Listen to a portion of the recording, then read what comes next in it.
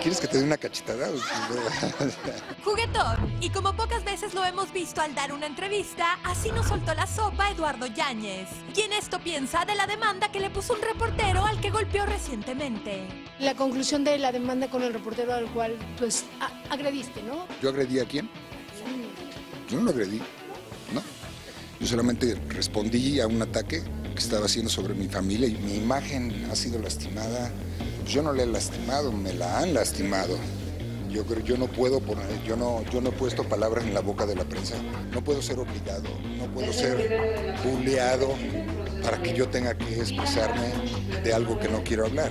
Y menos si tiene que ver con mi hijo, mi mamá, que son mi familia, yo no lo voy a permitir.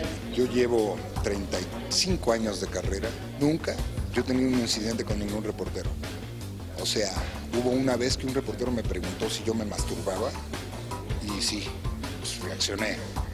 Y esta es la siguiente vez. Ha impuesto una demanda en contra mía por lo que sucedió y bueno, pues que tenga mucha suerte, pero no mejor que la mía porque iría en contra mí.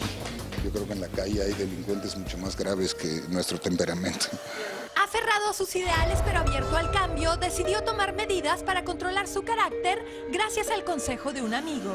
Un día leo un poco los salmos, otro día medito, otro día hago ejercicio, otro día me pongo a trabajar en lo que tengo que hacer. Sobre la salud de su madre, quien recientemente perdió uno de sus brazos por estar al cuidado de una pareja que no le daba atención, agregó. Mi mamá está mucho mejor, muchísimas gracias. Está siendo atendida como debe ser, no como los hijos, a ver, a veces queremos que sea.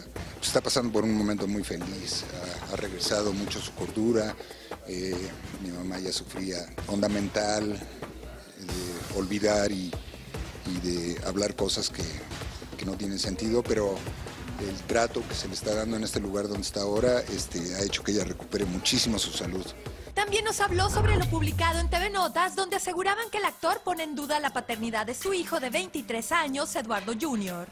Pues es que eso habría que hablarlo con la mamá, no conmigo, ¿no? Pues yo, o sea, pues, o sea, yo hice mi tarea como tenía que hacerla y no estoy enterado de otra cosa. ¿En algún momento eh, él ha hablado contigo ya para arreglar situaciones? Pues es que yo por ahí estoy enterado que le está yendo muy bien.